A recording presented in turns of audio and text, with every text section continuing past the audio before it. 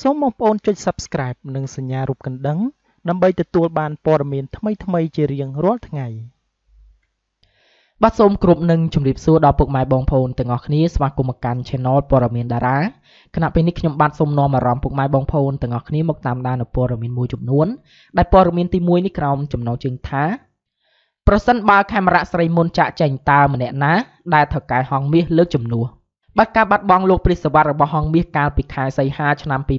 2020ដែលធ្លាក់ទៅកណ្ដាប់ដៃរបស់ Galaxy ត្រូវបានគេមើលឃើញថា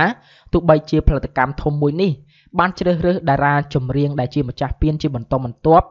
តាមរយៈការដំណើរការកម្មវិធីប្រឡងចម្រៀងលំដាប់ថ្នាក់ពិភពលោកដោយទិញសិទ្ធិពីបរទេសជាង10ឆ្នាំមកហើយក្តីប៉ុន្តែពេលនេះគេនៅតែមិនទាន់បានឃើញតារាម្នាក់ណាអាចជំនួសលោកព្រីសវត្តបានឡើយ ដោយឡែកថ្មីថ្មីនេះហងមាសបានបញ្ចប់កិច្ចសន្យារយៈពេល5ឆ្នាំជាមួយនឹងលោកខេមរៈស្រីមុនទៀតទើបធ្វើឲ្យអ្នកជំនាញសិល្បៈបានប្រមានថាបើហងមាសបាត់ទាំងព្រីសវត្តនិងខេមរៈស្រីមុននោះច្បាស់ជាប្រឈមជាមួយនឹងការរងាតែម្ដងប៉ុន្តែអ្នកខ្លះបានលើកឡើងថាបច្ចុប្បន្ននេះហងមាសមានតារានៅក្នុងដៃស្ទើរតែ80%នៃចំនួនតារាល្បីៗសរុបទាំងអស់ទៅហើយហេតុនេះអត់មួយគេនឹងលើកម្នាក់ទៀតទៅគឺបានហើយ តើតារាម្នាក់ណាទៅដែលហងមាសនឹងលើកឲ្យឡើងបន្ទាប់ពីលោកខែមប៊ុនថៃបញ្ចប់កុងត្រាហើយនឹងចាក់ចែងទៅផលិតកម្មផ្សេងនោះតាមព័ត៌មានថានៅក្នុងចំណោមម្ចាស់ពានប្រុសប្រុសទាំងឡាយនៅហងមាសតារាដែលអាចជំនួសលោកខែមប៊ុនថៃបានហាក់ដូចជាពិបាកប៉ុន្តែនៅក្នុងនោះគេមើលឃើញថាលោកនីរតនាលឹមតិចមិញនិងថែថៃពួកគេមានសមត្ថភាពល្អល្អមួយយ៉ាងម្នាក់ខណៈដែលតារាប្រុសផ្សេងទៀតរបស់ផលិតកម្មធំនេះដែលគេជ្រើសរើសបានពីការប្រឡងមានដូចជាលោកគ្រីថៃពៅម្ចាស់ពាន Cambodian Idol រដូវកាលទី3អតីតបេក្ខភាព Cambodian Idol រដូវកាលទី4ទាំង3រូបគឺថុលសុភិតិ នាងដាវីន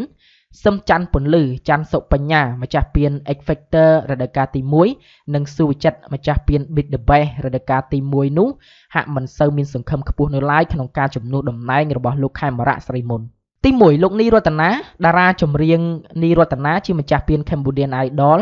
រដូវកាលទី1រូបនេះត្រូវបានទស្សនិកជនទទួលស្គាល់នៅសមត្ថភាពនិងប្រជាប្រិយភាពរបស់គេបើទោះបីជាពេលនេះនីរតនាមានប្រពន្ធនិងកូនមួយទៅហើយក្តីលោកនីរតនាអាចច្រៀងបានជាច្រើនទម្រង់ តែមិនសូវជាលេចធ្លោខ្លាំងនោះឡើយពិសេសក្រោយពីល្បីបានតែមួយប្រើក៏ប្រញាប់យកប្រពន្ធផ្លែតនោះហើយនៅពេលនេះលោកនីរតនាក្លាយទៅជាតារាដែលមានរថយន្តជិះថ្លៃថ្លៃព្រោះថាត្រូវប៉ាន់ភរិយាជាអ្នកលក់អនឡាញដ៏កាក់កបម្នាក់បាទទោះបីជាលោកនីរតនាមានប្រពន្ធនិងកូនមួយហើយក្តីប៉ុន្តែទស្សនិកជននៅតែមើលឃើញពីសមត្ថភាពរបស់លោកថាអាចនឹងមានសង្ឃឹមក្នុងការជំនួសតំណែងរបស់លោកខេមរៈស្រីមុន ទី2លោកថាថៃម្ចាស់ពាន The Voice Cambodia រដូវកាលទី2រូបនេះមានសមត្ថភាពច្រៀងបទលោកខេមរៈស្រីមុនបានស្ទើរតែមិនចាញ់ម្ចាស់ដើមឡើយតែលោកថាថៃបែរជាស្ងប់ស្ងាត់ស្ទើរតែគ្មានឱកាសក្នុងការបានច្រៀងតាមឆាកធំធំដោយតារាថ្មីថ្មីទៅទៀតលោកថែថៃមិនសូវមានជីវភាពធូរធាននោះទេហើយលោកត្រូវបានទស្សនិកជនចូលចិត្តព្រោះតែអត្តចរិតស្លូតបូតសុភារាសារបស់លោក ទី3លោកលឹមតិចមេងម្ចាស់ពាន Cambodian Idol រដូវកាលទី4រូបនេះមានប្រជាប្រិយភាពខ្លាំងព្រោះតែមានអ្នកគាំទ្រច្រើនប៉ុន្តែគេនៅមិនទាន់ដឹងថាលោកលឹមតិចមេងល្បីតែមួយឆាវហើយក៏ស្ងាត់ដូចជាម្ចាស់ពានមុនមុនឬក៏យ៉ាងណានោះទេខណៈដែលលោកត្រូវបានគេទទួលស្គាល់និងគាំទ្រតាមរយៈលោកច្រៀងបទល្បីៗរបស់រៀមច្បងច្រើនជាងពេលចេញបទផ្ទាល់ខ្លួន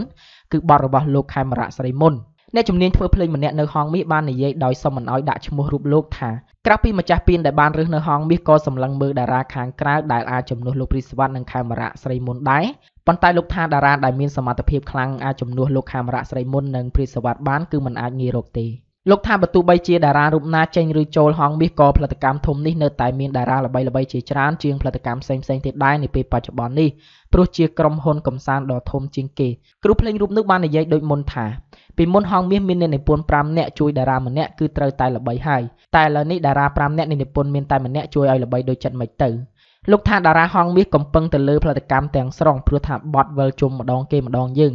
អញ្ចឹងត្រូវធ្វើបត់ដោយខ្លួនឯងខ្លះទៅព្រោះថាបត់ល្អតើកែគេឲ្យយើងចេញតើអញ្ចឹងយើងជួយខ្លួនឯងសិនទៅទើបគេជួយយើងតាមក្រោយបាទព័ត៌មានទី1ខ្ញុំបាទសូមបញ្ចប់ត្រឹមតែប៉ុណ្ណេះហើយក៏សូមនាំអារម្មណ៍ពុកម៉ែបងប្អូនទាំងអស់គ្នាមកតាមដាននៅព័ត៌មានទី2ដែលជាព័ត៌មានបន្តអស់ TikTok មិនផុតសោះយុវតីខ្មែរម្នាក់នេះស្រស់ស្អាតខ្លាំងឆក់យកបេះដូងអ្នកទស្សនារាប់ម៉ឺននាក់ បាត់កន្លងទៅថ្មីថ្មីនេះមហាជនអ្នកលេងបណ្ដាញសង្គម TikTok បាននាំគ្នាចាប់អារម្មណ៍យ៉ាងខ្លាំងនៅសម្រស់របស់យុវតីលេង TikTok មួយរូបលេងបទឈឺក្បាលខ្លាំងណាស់ដែលមានសម្រស់ស្រស់ស្អាតខ្លាំងមានអ្នកឲ្យបេះដូងរហូតទៅដល់ 400k និងមានអ្នកទស្សនា2លានដងឯណោះយុវតីដែលកំពុងតែល្បីនេះដែរត្រូវបានគេស្គាល់ឈ្មោះថាសិនឌីរតច័ន្ទមនីនាថមានអាយុ18ឆ្នាំ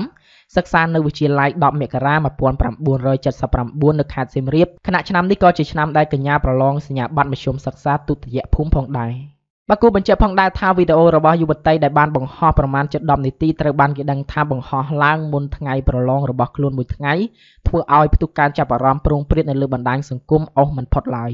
បាទដោយដែលពុកម៉ែបងប្អូនទាំងអស់គ្នាបានឃើញរូបភាពរបស់យុវតីម្នាក់នេះហើយគឺពិតជាស្រស់ស្អាតមែនទែនហើយក៏ល្បីស្របគ្នាជាមួយនឹងកូនស្រីរបស់ឯកឧត្តមយឹមលៀងផងដែរ បាទដូច្នេះព័ត៌មានមួយនេះខ្ញុំបាទសូមបញ្ចប់ត្រឹមតែប៉ុណ្ណេះហើយក៏សូមនាំអារម្មណ៍ពុកម៉ែបងប្អូនមកកាន់ព័ត៌មានទី3ដែលជាព័ត៌មានបញ្ចប់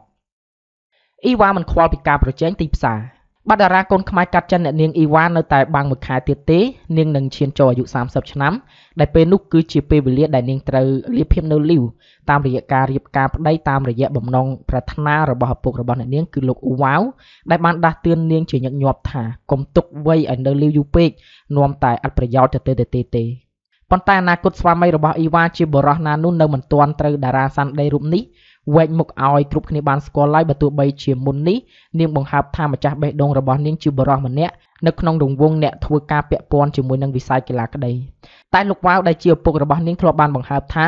លោកចង់បានកូនប្រសារជាមនុស្សវ័យចំណាស់បន្តិចមិនមែនជាប្រុសក្មេងស្ទាលនោះទេខណៈដែលអ្នកនាងអ៊ីវ៉ានៅតែព្យាយាមលាក់បាំងមុខបរោះដែលបានឆក់យកបេះដូងនាងនោះហើយថែមទាំងមិនធ្លាប់បណ្ដាលគ្នាទៅកាន់កម្មវិធីអ្នកសិល្បៈឬគៀកកាយគ្នាដោយគូស្នេហ៍តារាដទៃទៀតឡើយបាទសូមបញ្ជាក់ផងដែរថាតារាវ័យ29ឆ្នាំអ្នកនាងអ៊ីវ៉ាបានសម្រេចចិត្តបន្តអាជីពចម្រៀង The Sunday ដោយមិនចុះកុងត្រានោះទេ តែថៅកែផលិតកម្មបានផ្ដល់នូវសិទ្ធិពិសេសឲ្យនាងតាមរយៈការឲ្យនាងច្រៀងសម្ដែងតែបទណាដែលនាងស្រឡាញ់ពេញចិត្តប៉ុណ្ណោះ ដែលមានន័យថាបទចម្រៀងណាដែលនាងមិនពេញចិត្តគឺអាចបដិសេធបានការជ្រើសរើសត្រនំចាស់របស់អ៊ីវ៉ាននេះមានន័យថានាងមើលរំលងនៅផលិតកម្មដែលចាប់អារម្មណ៍ចង់បាននាងរហូតដល់3ឯណោះគឺហងមាសថោននិងកលាក់ស៊ីស្របពេលដែលឪពុករបស់អ៊ីវ៉ាបានទម្លាយថាអ៊ីវ៉ាបានចាត់ទុកសាន់ដេជាឪពុកទី2របស់ខ្លួនព្រោះថាធ្វើឲ្យនាងមានឈ្មោះល្បីមកដល់ពេលនេះ ប៉ុន្តែសម្រាប់អ្នកជំនាញសិល្បៈមើលឃើញថាអ៊ីវ៉ាននារយៈពេលចុងក្រោយនេះហាក់បាត់បង់ឱកាសប្រជែងទីផ្សារចម្រៀងឲ្យខ្លាំងក្លាបើប្រៀបធៀបទៅនឹងអ្នកនាងតនតានសីមានិងរ៉េតស៊ូសាណាបើទោះបីជានៅឆាកធំធំនាងនៅតែបន្តលេចមុខជាបន្តបន្ទាប់ក្តីការលើកឡើងបែបនេះដោយសារតែគេយល់ឃើញថាអ៊ីវ៉ានៅពេលនេះដៃគូចម្រៀងរបស់នាងមានតែលោកកាវាសនានិងលោកវេហាតែបើនាងចូលហងមាសឬក៏កាឡាក់ស៊ីនោះនាងនឹងអាចចាប់ដៃគូថ្មីហើយក៏ជាបទពិសោធន៍ថ្មី អាចធ្វើឲ្យទីផ្សារចម្រៀងរបស់នាងប្រែប្រួលជាជាមិនខានតែវ៉ាធ្លាប់បានប្រាប់ថាផលិតកម្មធំមានតារាច្រើនពេកក៏មិនជាជំរឿនល្អសម្រាប់នាងឡើយដោយឡែករឿងស្នេហាវិញនាងថាមនុស្សស្រីរៀបការអាយុ30គឺល្អបំផុតទើបនាងចង់ធ្វើជាកូនក្រមុំនៅអាយុប៉ុណ្ណឹងបាទមហាជនរងចាំមើលថាតើអ៊ីវ៉ានឹងរៀបការនៅអាយុ30ឆ្នាំឬក៏ឆ្នាំ2023ខាងមុខនេះដូចនាងសន្យាមែនឬមួយក៏នាងគ្រាន់តែនិយាយដើម្បីឲ្យលោកវ៉ាវសប្បាយចិត្ត បាទព័ត៌មានទី3នេះក៏សូមបញ្ចប់ខ្លឹមសារត្រឹមតែប៉ុណ្ណេះហើយក៏សូមអរគុណដល់ពុកម៉ែបងប្អូនទាំងអស់គ្នាដែលចំណាយពេលវេលាដ៏មានតម្លៃក្នុងការតាមដាននូវព័ត៌មានទាំង3នេះតាំងពីដើមរហូតដល់ចប់និងសូមជូនពរពុកម៉ែបងប្អូនទាំងអស់គ្នាមានសុខភាពល្អគ្រប់គ្រប់គ្នានិងជួបតែសុខសុវត្ថិភាពគ្រប់ពេលវេលានិងគ្រប់ទីកន្លែង។